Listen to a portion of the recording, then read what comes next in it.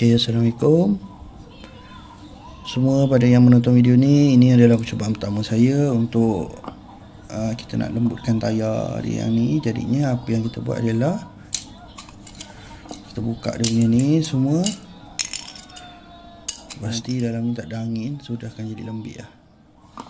Okay, jom kita cuba tebuk.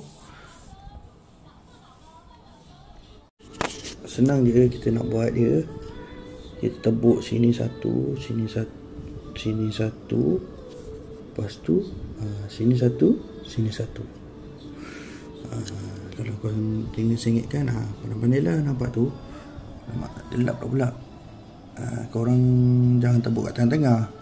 So dia macam sengit sikit. Jadinya baru boleh tebuk. So nanti akan berlubang kat sini. So angin boleh keluar dekat sini. Okay.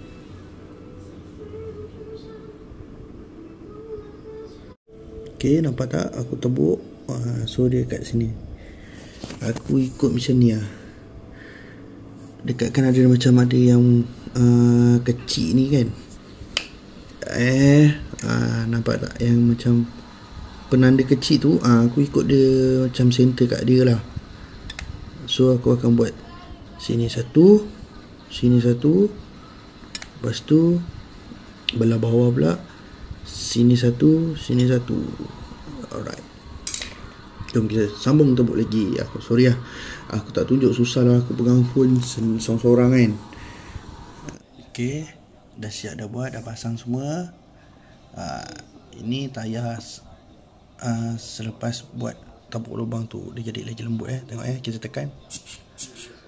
Uh, Siap ada bunyi angin keluar. Just Just Okay yang ni pula tayar standard yang tak buat apa-apa lagi. So angin tak keluar dia dia terkempam dalam tu. So tu yang dia keras. Eh so kalau dia jalan dekat mana-mana pun dia akan jadi jadi lagi lembik lah. Bau. Memang nice gila lah.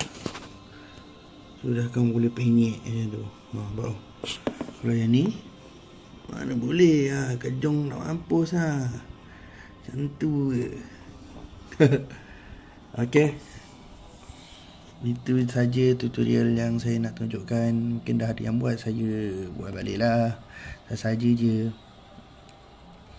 Okay Dan Pada kawan-kawan yang baru menonton Jangan lupa like dan subscribe Video saya dan share jika bermanfaat. Terima kasih. Assalamualaikum